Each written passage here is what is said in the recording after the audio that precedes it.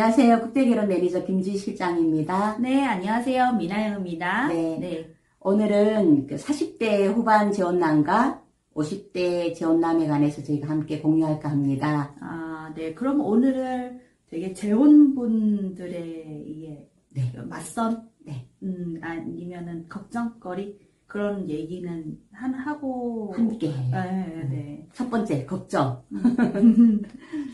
걱정한 거 뭐가 있까요? 많아요. 네. 30대, 실장님 30대 신부가 한국 나와서 잘 살 수 있을까요?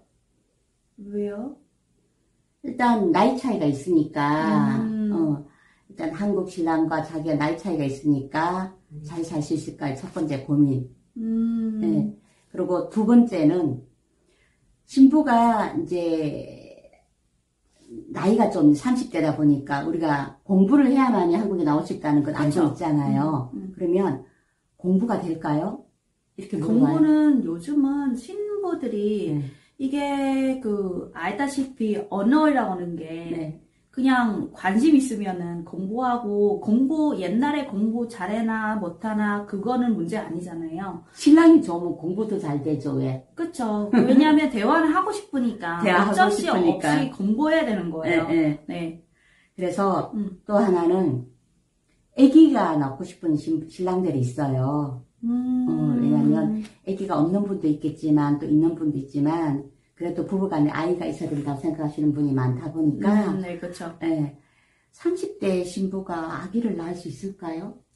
물어봐요. 그 네. 한국 아가씨부들이 요즘은 다 30대 초반이나 후반. 30대 후반에 시집 가잖아요. 시집 가서. 그분들은 다 아이가 아이가 나는데 네. 근데 그런 거를 왜 그렇게 생각하는지 얘기 좀 그게 해주세요. 예, 네. 그게 왜냐면 우리가 알고 있는 베트남의 동남아 쪽의 사람들이 나이가 많이 들은 줄 알고 있어요. 그러니까 늙어 보인다는 거죠.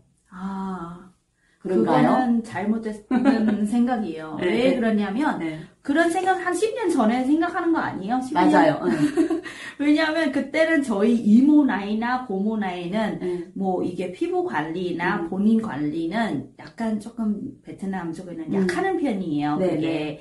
예, 근데 요즘은 아가씨들이 아니면은 재혼분이라도 이게 본인은 관리해야 되는 거를. 인식이 되고 있어요. 네, 해야죠. 한 번 그때 한 번 베트남 한 번씩 춘장 가시잖아요. 이뻐요. 예, 그쵸. 너무 이뻐요. 그리고 화장품 가게도 네. 엄청 많이 생기고요. 맞아요. 네, 우리보다 더 좋은 화장품을 많이 쓰고 계셔요.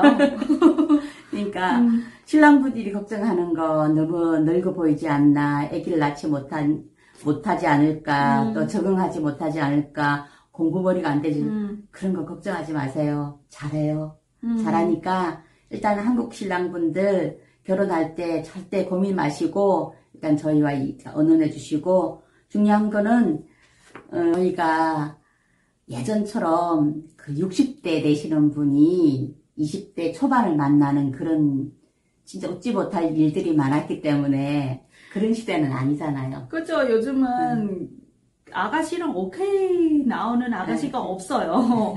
아, 요즘은 이게 알다시피 여성은 남성분이 이게 마음에 들어야 이게 네. 맞선 장소도 나오고 네. 그럼 맞선도 하잖아요. 네. 그렇죠? 네. 최고의 신부를 만나려면 음. 그 친구가 이 회원분을 가장 좋아하는 분을 만나려고 하면 그렇죠. 네. 그 커플이 한국 나와도 문제가 없는 거고 음, 우리 회원님이 걱정하는 일은 없을 거니까 그렇죠.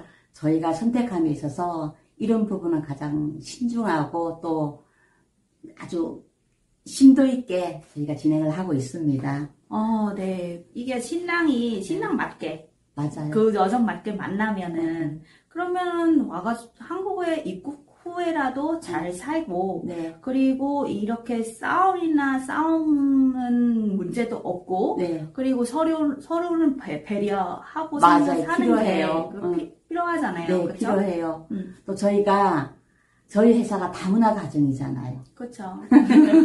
다운화가 있기 때문에 음. 저도 저 신랑이랑 나이 차이가 좀 있긴 한데 음. 그래도 그 정도는 아닙니다. 예, 예. 그러니까 네. 이제 우리는 한국 신랑이기 때문에 음. 전 한국 신랑에 대해서 컨택을 많이 하는 편인데, 저또 우리 민 대표는 베트남 신부다 보니까 그쪽 신부가 이 우리 네. 민 대표를 믿고 그쵸. 믿고 진행을 하기 때문에 그쵸. 우리가 걱정하는 건 민 대표를 믿고 진행을 해서 왔기 때문에 네. 걱정하는 게 없어요. 네, 맞아요. 네. 한 번씩은 이런 신부들이 이게 그냥 다이어트로 저희한테 네, 연락을 네, 오는 네. 신부들은 많이. 있으니까. 네. 음, 그런 식으로는 어, 서로 이게 네. 남자도 맞고 네. 여자도 성격이나 뭐 문제나 이런 식으로 이렇게 맞서는 진행을 맞아요. 그렇죠. 그 예전에 그 기억나요. 48세 되는 신랑분인데 음, 이분이 나이가 35살 이상 되시는 분을 만나려고 해서 우리가 반대했었어 그때. 네, 그쵸. 안 옛- 된다고. 한, 한 그때 한 7, 8년 네, 전이니까. 안 된다고. 그때는, 아우, 나이차가 너무 안, 안 나니까. 열, 또, 14살 정도밖에 안 났죠? 어, 13살 정도? 음, 음. 네. 안 된다고. 근데 이분이 음. 우리한테 하는 말이 본인은 그 본인이 원하는 여성은 음. 일단 내가 여기까지 오기가 참 힘들었는데 결혼 음. 상담하는 게참 음. 힘들었는데 이게, 예, 신장님한테 전화 오는 것까지는 사- 힘든다는 거잖아요. 고민 많이 하고 예. 힘들었는데 내가 살면서도 이 여자 때문에 힘들면 안 될 것 같고 어, 그쵸. 네, 젊은 아, 그분은 그때 아이가 있지 않나요? 네, 예. 젊은 여자 만나가지고 자기가 그렇게 하는 게 너무 힘- 마음이 부담스러웠고 음. 또 하나는 이 여자가 자기를 좋아하는 사람을 만나야지 자기가 평생이 행복할 것 같아요. 음, 얼굴보다 네. 성격이나 네. 아니면 배려심이나 그런 거는 중요한 중요하다는 네, 거잖아요. 네. 그리고 그분이 네, 음. 아주 현실적이었어요. 네. 그래서 우리가 만 여덟이면은 그래도 조금 젊은 분 만나면 어떨게 아니라고. 음, 중요한 건 우린 기본 베이스로 이쁜 사람 좋아합니다. 음. 이쁜 사람 좋아하고 이쁜 사람이면서 나이 차이가 얼마 안 나길 원하는 거지. 네, 그렇죠. 네. 그거는 남, 한국 남자 욕심이죠. 맞아. 이쁜 여자, 아, 이쁜 여자의 나이 어린 분. 인정합니다. 네. 네. 그리고 성격까지 좋고, 네. 뭐, 배려심도 있는 여자가 어- 요즘 네, 어디 네, 있어요. 인정해요. 그러면 무조건 맞춰줘야 되는 거잖아요. 그렇죠? 성격 좋고 네. 우리가 이런 사람을 만나게 하는 게 저희 몫이고 어차피 이제 결혼을 진행을 하다 보면은 음. 저희가 아내가 나이가 너무 어리면 심적으로 부담스러워하는 신랑분들이 많기 때문에 음. 저희는 아가씨 상대방 여성과 우리 회원분이 성격적인 모든 그 조합을 잘해서 음. 최고의 아내감을 만나기를 하는 게 저희 몫이다 보니까 신랑분들의 상담도 아주 까탈스럽게 합니다. 첫 번째가 성격적인 부분을 좀 조율을 해요.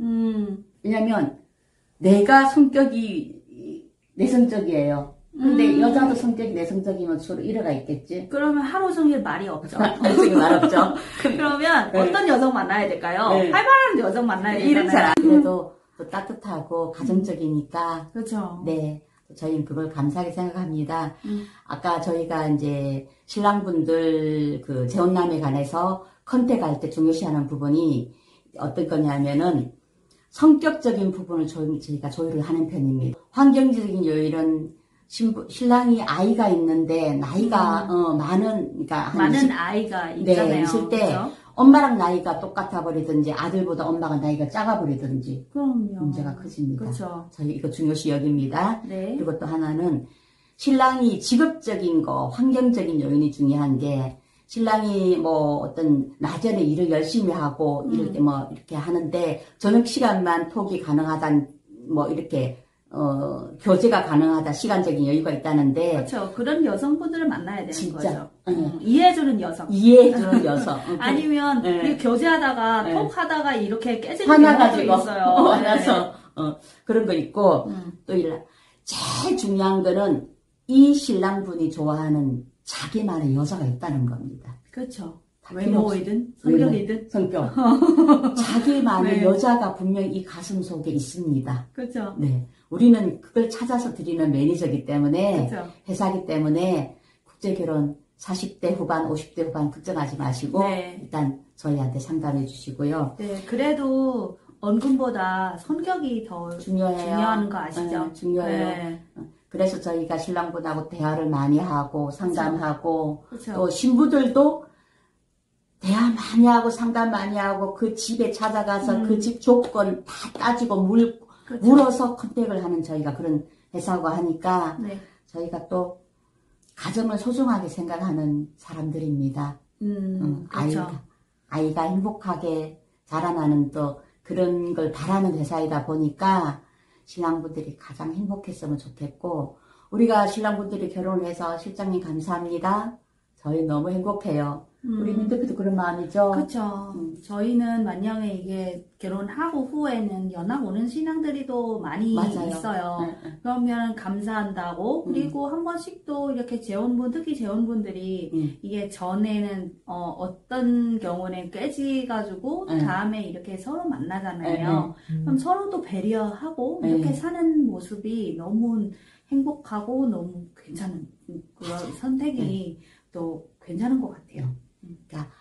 찬스, 우리 음. 민대표 찬스를 잘 이용하시면 국제 결혼 성공하는 일단 그렇죠. 신랑분이 되실 거니까 하지 마시고 연락 주시면 저희가 최선을 다해서 좋은 일 만나게 해드리겠습니다. 네, 그럼 다음에도 어, 신장님 더 좋은 네. 이야기는 좀 예, 다시 부탁드릴게요. 네, 감사합니다. 네. 저희가 알고 있는 거 모든 거 공유하고 음. 또 함께 하겠습니다. 감사합니다. 미나연 글로벌 김 실장입니다. 네, 감사합니다. 네.